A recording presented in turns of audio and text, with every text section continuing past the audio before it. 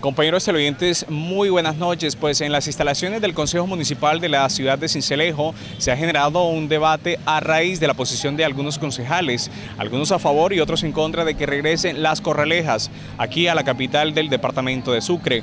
El equipo de CB Noticias salió hoy a las calles de esta ciudad a consultarle a los ciudadanos. La propuesta de algunos concejales de convocar una consulta popular para que la ciudadanía decida si quiere que se siga realizando las corralejas en el marco de las festividades del 20 de enero abrió el debate en la capital de Sucre. Eh, a mi juicio, eh, para mí lo que es el tema cultural y el tema fiesta del 20 de enero, pues pasaría a un tema terciario. Eh, debiéramos de mirar inicialmente el riesgo inminente de la humanidad sobre, sobre las tablas.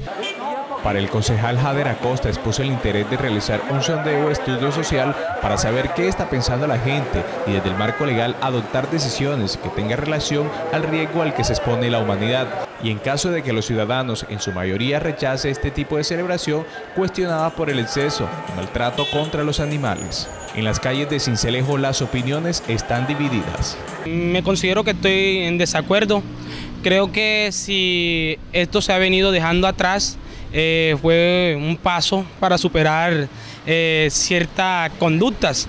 Sí es bueno por la ola de, o por, la, por el desempleo que hay aquí, eso genera empleo este, provisionalmente. Sí, porque de ahí viven muchas personas que hacen eh, rebúsqueda diario, tanto vendedores ambulantes como los que organizan los eventos. Y, Hace pocos días finalizaron las fiestas del 20 de enero, pero una vez más, desde hace aproximadamente nueve años, finalizan sin tardes taurina.